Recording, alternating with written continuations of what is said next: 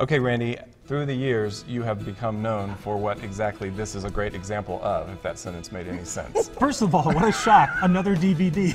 oh, there we go. We do, of course, have a DVD, but this Christmas morn? well, you know what? I, I love the melody to I Saw Three Ships.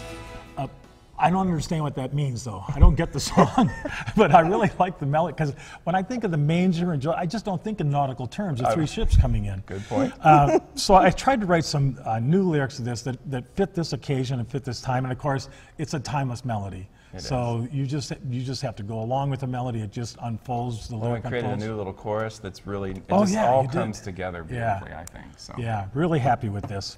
Okay, this Christmas job, morning. Take a listen. Thank you Thanks, so man. much. Take a listen to this Christmas morn.